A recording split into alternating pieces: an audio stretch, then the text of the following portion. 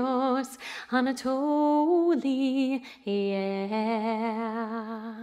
One happy birthday dot com.